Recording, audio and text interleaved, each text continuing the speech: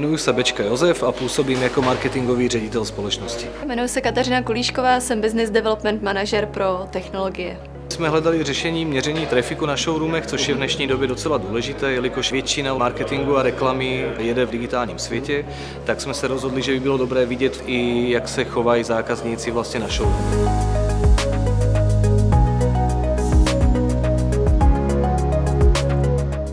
Máme už ostrahu kamerovými systémami, které sledují tu naši plochu a ty naše zákazníky. Tu analýzu jsme vzali opravdu od nějakého základu, kdy vlastně jsme řešili zóny, kdy monitorujeme hlavní vstup, pak jsme se dohodli, že budeme monitorovat, do které části showroomu nám ti návštěvníci chodí, jestli je to k ojetým vozům, anebo jestli je to k novým vozům.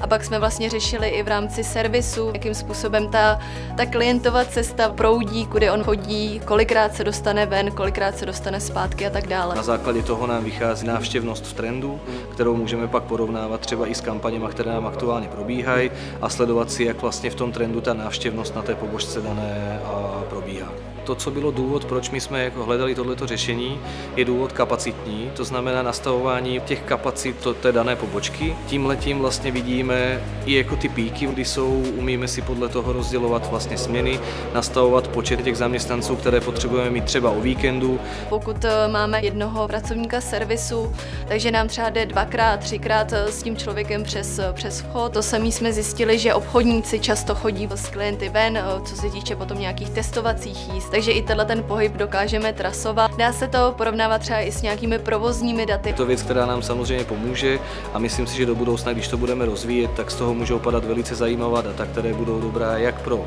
personální oddělení, tak samozřejmě pro marketingy, pro biznis, jak teda jako ze strany třeba měření těch kampaní, tak pak to hodně pomůže pak i v tom nastavování toho headcountu, respektive jako toho, té kapacity vlastně odbavování zákazníků té pobočky.